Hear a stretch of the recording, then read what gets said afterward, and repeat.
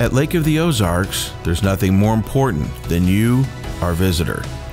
During this time, we ask that you keep yourself and your family healthy and safe.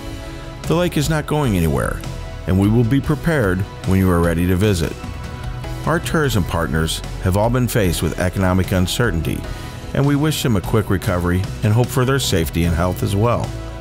When the time is right, we can assist you with your next vacation, weekend getaway, or family reunion. Just give us a call or visit our website. More importantly, be safe and stay healthy. During these times, there's nothing more important than you, our visitor.